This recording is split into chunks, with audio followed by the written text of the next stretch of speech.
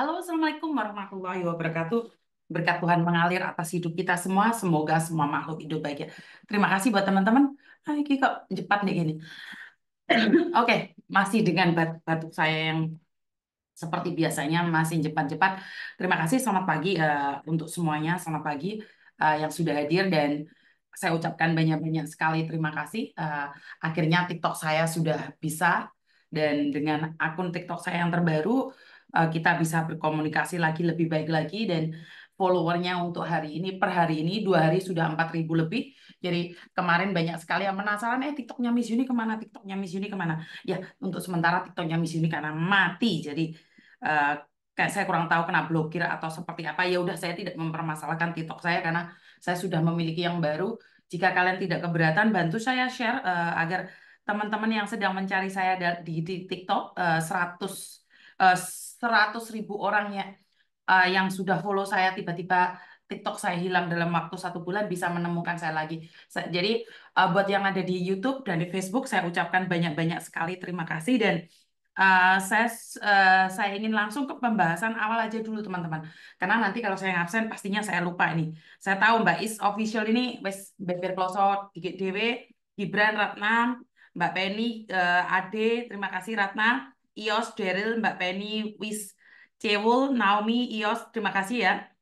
Weni juga terima kasih, Ani Jutek, eh, Mbak Parmi, Adik Ambar, eh, Naomi, Feby, Mbak Parmi, Titin, Ios, semoga sehat selalu Mbak Nini, Nadira. Jadi ini sudah sudah ugal-ugalan yang ada di TikTok ini juga semakin banyak yang sudah hadir ya. Jadi jadi saya nggak ngerti harus ngomong apa lagi. Ternyata dalam jangka waktu yang begitu cepat uh, TikToknya sudah bisa uh, kembali lagi, walaupun tidak sepopuler kemarin. Jadi ya udah saya tidak mau membahas TikTok lagi dan uh, semalam uh, kebetulan uh, saya tidak bisa live dan uh, sangat mengerikan sekali. Saya waktu tidur saya harus mendengarkan salah satu jeritan air mata dan tangisan dari salah satu teman kita yang ditipu temannya secara ugal-ugalan.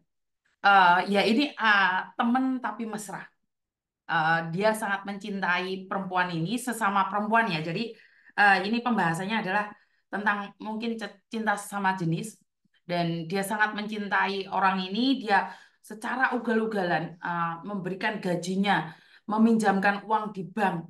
Ini ini saya bahas dulu ya karena kalau saya nggak bahas saya lupa nanti. Biasanya saya tuh lupa kalau habis orang curhat karena semalam saya antara separuh sele genje dan separuh itu ya. Separuh uh, separuh ngeluh-ngeluh karena sudah sudah uh, agak tidur ya jadi ceritanya adalah uh, mereka itu punya hubungan yang sudah cukup lama uh, sebagai sahabat, uh, sahabat dekat. Suaranya jelas ya teman-teman ya, suaranya jelas ya, baik uh, yang di mana pun suaranya jelas gak? Soalnya gini loh, mikir telu. Jadi uh, mereka punya hubungan dekat, uh, akhirnya si salah satu dodanya cewek sih, tapi dia berperan sebagai perempuannya itu menghabiskan seluruh uh, pekerjaannya, seluruh waktunya untuk si TB-nya ini. Jadi itu uangnya dikirim semua, akhirnya si TB itu di kampung halaman tuh punya rumah yang sangat mewah dan megah. Akhirnya si TB ini mulai berkurang, sekarang itu mulai menghilang-hilang, mulai mulai nggak jelas. Ini saya tidak ingin, saya tidak pernah membahas tentang uh, teman-teman kita yang tomboy atau apa pun itu adalah hak mutlak kalian. Saya tidak berhak untuk mengkomeni kehidupan kalian. Itu bukan ranah saya sekali lagi bukan ranah saya untuk ber, berbicara tentang itu, tapi ini adalah tentang salah satu uh, teman kita, teman kita yang ada di Hong Kong ini. Jadi dia kenapa saya merasa bahwa itu tendensi yang adalah menipu? Karena dia memanfaatkan si ceweknya ini untuk untuk utang bank di mana-mana setelah itu dia cari perempuan lain. Koreksi saya jika saya salah. Jadi dia memanfaatkan uh, wanita lain untuk pinjam bank dan ternyata bukan cuma satu orang saja yang dimanfaatkan. Ini saya saya tidak menyindir siapa pun ya. Kalau kamu tidak merasa nggak usah nggak usah baper terus habis itu kamu marah-marah. Enggak. Ini bagi yang merasa saja. Jadi intinya adalah dia uh, uh, ada beberapa perempuan notabene sesama perempuan tetapi mereka habis-habisan untuk membiayai perempuan satunya. Jadi eh, mungkin ini ada salah satu kasus teman kalian atau siapa ya? Uh, sebenarnya saya sendiri tidak ingin membahas sejauh itu, tapi karena ini menjadi problematikanya mental. Jadi uh, salah satunya mentalnya diajar habis-habisan dan ternyata bukan cuma satu perempuan aja. Nah ini buat teman-teman ini TB kere, waduh, gak, saya nggak ngomong kayak gitu. Yang baperan main kalkulator aja, jangan main sosmed, betul.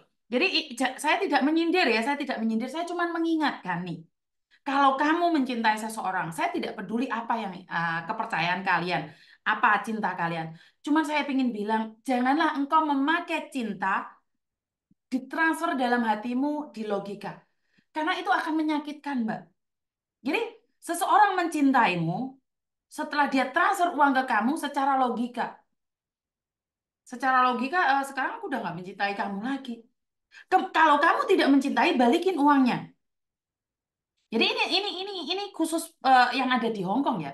Uh, kalau kalian cinta-cintaan itu urusan kalian, tapi menjadi ranah umum jika kalian memanfaatkan pasanganmu. Bener nggak? Bukan ganti akun Mbak, soalnya akun yang dulu mati, jebol. Jadi bantu share dan tap-tap ya Mbak ya buat teman-teman agar teman-teman yang lain nih ngelihat uh, bahwa saya sudah live lagi di TikTok. Karena banyak yang mencari di TikTok katanya lama nggak live, eh, bantu share ya. Jadi saya ingin selalu katakan, hati-hati sekarang dia dalam penjara. Bukan Mbak, ini ini bukan dalam penjara, ini di Hong Kong. Sama-sama di Hong Kong. Ini perempuannya sama-sama di Hong Kong. Kalau itu kan cinta siluman ya. Kalau itu adalah cinta siluman. Kalau ini cinta-cinta teman. Ya. Terlalu dekat sampai ada yang mengira itu lesbian ataupun tomboy. Saya tidak tidak mengarah ke sana. Tapi menurut saya adalah teman baik, teman baik, dodonya baik, Dipikirnya gantian setelah saya bangun rumahmu, sayang, cinta. Nanti bangun rumahku ya. Giliran harus bangun rumahku, dia pergi dariku, dia cari orang lain, gitu loh. Jadi, uh, saya rasa ini juga fitnah. Jika tidak ada ya nggak apa-apa, tapi jika ada, pasti kalian yang rasa, duh, aku gue miss. Ya, jadi yang semalam curhat pasti ngomong, duh, ternyata di dibahas ini. Jadi saya, saya tidak membahas kalian tomboy atau kalian lesbian atau itu di luar ranah saya. Ingat, jangan baper. Saya tidak membahas kalian lesbian, suka perempuan atau apa pun. Itu hak mutlak kalian. Saya tidak berhak ngomen hidup kalian. Tapi ini menjadi ranah publik jika kalian mengambil kesempatan menipu wanita lain hanya untuk memperkaya diri sendiri di kampung halaman. Jadi kamu di kampung halaman itu terlihat kaya, bangun terus. Padahal kamu menipu beberapa perempuan atas dasar cinta. Ya ini ini pembahasan yang selama ini saya saya saya tidak ingin uh, saya bahas ya. Karena sebenarnya ada yang orang menilai bahwa saya itu tomboy. Memang saya dulu tomboy ya. Waktu janda, waktu saya jadi janda itu uh, saya merubah identitas saya. Saya tidak mengakui kalau saya itu punya anak kalau suami kan enggak nih janda. Jadi saya sendiri itu pernah di kehidupan saya, saya merubah identitas saya. Tapi saya tetap mencintai laki-laki. Saya saya tomboy pakaian saja. Enggak tak pakaian ya rambut saya masih tetap posisi panjang ya. Jadi saya enggak komen, saya benar-benar tahu perasaan kalian, saya tidak ingin menghancurkan hati kalian. Kadang-kadang kalian tuh kesepian. Jadi bukan karena kalian tuh mencintai perempuan sesama perempuan. Kalian secara sadar diri sama kalian itu tidak mencintai perempuan sama perempuan. Tapi karena satu kecewa dengan laki-laki, kurang kasih sayang, akhirnya kalian melampiaskan sesama perempuannya. Jadi uh, saya kurang setuju jika totalitas mengatakan bahwa Hong Kong itu lesbian ya. Itu sering kali laki-laki inbox saya. Coba dong Miss Yuni jelaskan tentang perempuan sama perempuan kenapa mereka bisa mencintai.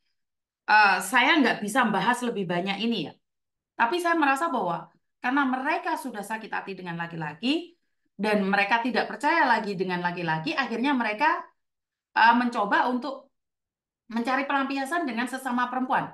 Koreksi saya jika saya salah. Karena sudah merasa nyaman dengan perempuan, akhirnya mereka terbawa arus untuk saling eh, mengerti. Jadi terbawa arus untuk saling mengerti.